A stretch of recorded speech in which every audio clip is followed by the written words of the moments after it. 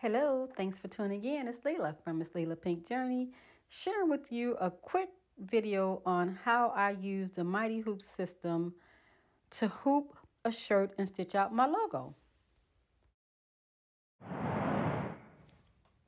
My first step is to grab a sheet of cutaway no-show mesh stabilizer. I'm going to plop it right down into the hooping station here. Lock those down.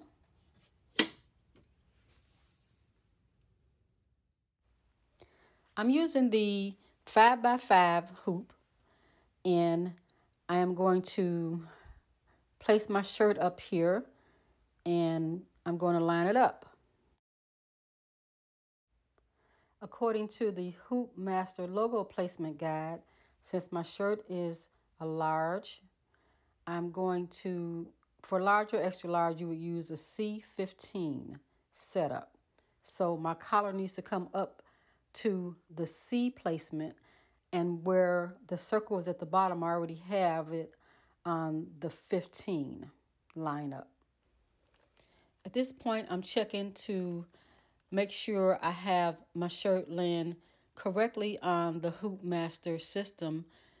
I want to get my shoulders lined up correctly here at the top and get the C lined up as it should under the collar portion and then I'll make sure that I have my center line of my shirt lined up with the center line of the hoop master station. So sometimes I kind of roll my shirt up at the bottom just so that I have room down there to maneuver around. Then I pull my shirt up to line up with the C.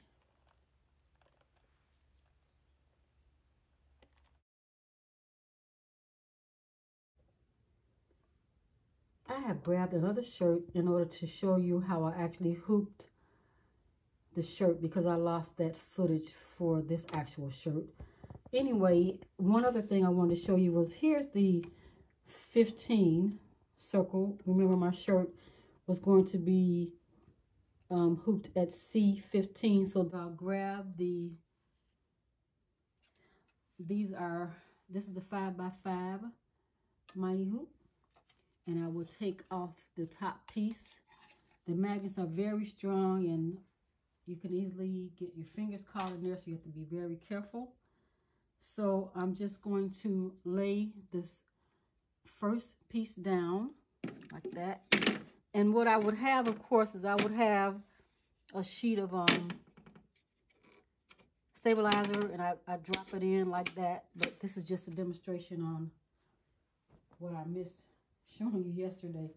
So I'm just grabbing another shirt. I would lay it down like that.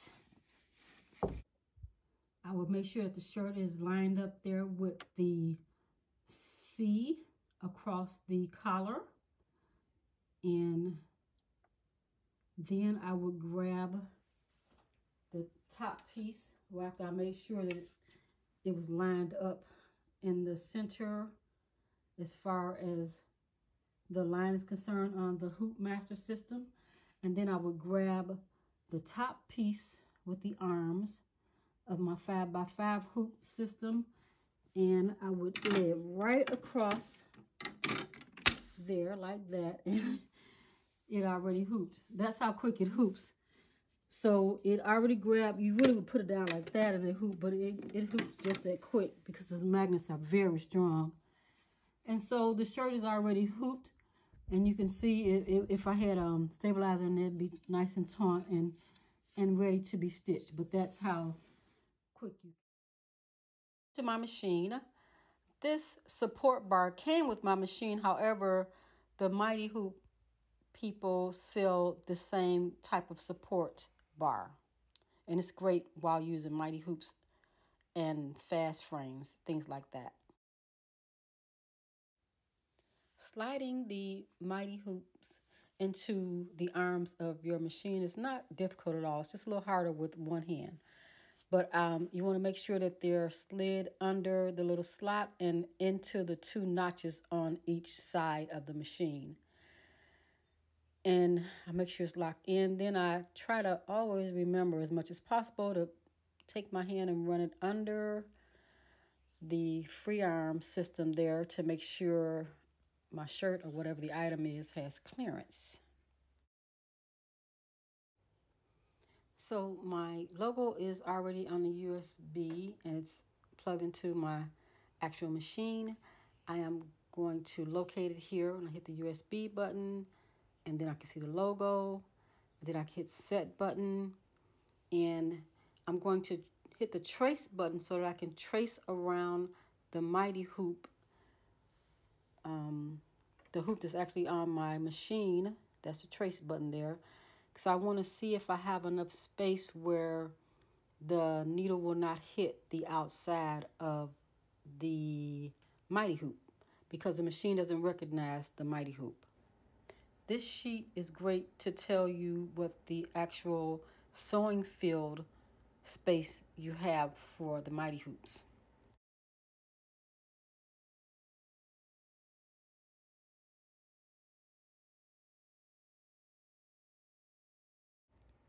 I am actually known to trace two, three, and four times around my mighty hoops just to make sure that my needle has enough clearance where it will not hit outside of the actual sewing field. Trying to get really close here to give you a close-up of how the crosshairs will show where the needle is going to punch when it begins sewing.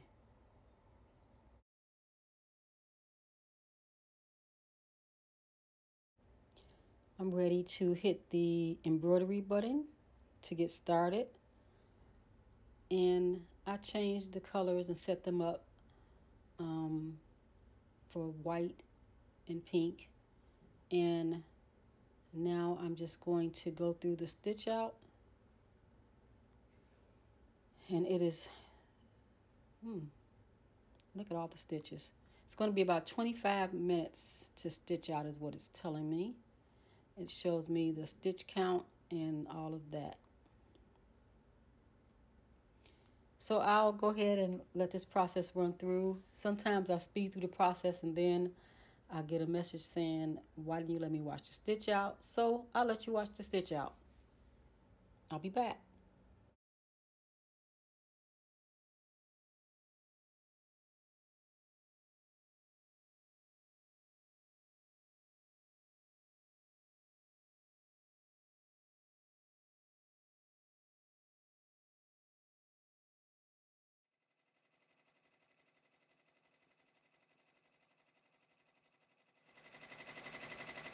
At this point, I'm going to speed up the recording, but at least you'll still be able to check out the stitch out. I'll be back.